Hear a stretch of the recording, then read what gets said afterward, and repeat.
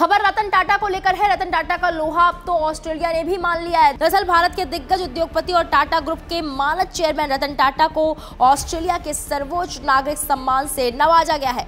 Australia के राजदूत ने इसकी ट्विटर पर जानकारी देते हुए कहा कि रतन टाटा को ऑर्डर ऑफ़ ऑस्ट्रेलिया से सम्मानित किया गया। ऑस्ट्रेलिया के एम्बेसडर बैरी ओ फेरल ने अपने ट्वीट में कहा कि भारत के साथ ही ऑस्ट्रेलिया में भी रतन टाटा का योगदान रहा है।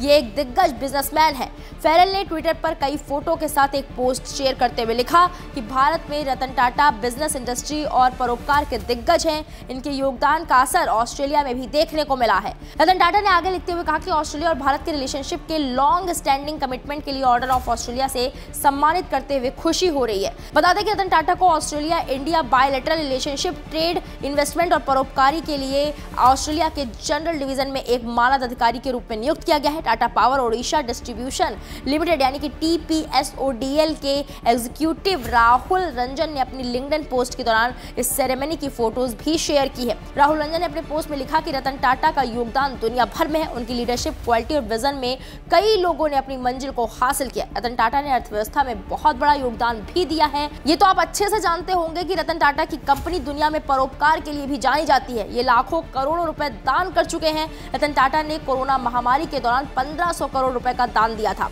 वहीं मीडिया रिपोर्ट्स की माने तो ये कमाई का 60 से 70 फ़ीसदी हिस्सा परोपकार के लिए दान कर देते हैं। रतन टाटा की दरिया और उन्हें जो सम्मान मिला है, उसे लेकर आपकी क्या राय है? हमें कमेंट बॉक्स में जाकर ज़रूर बताएँ।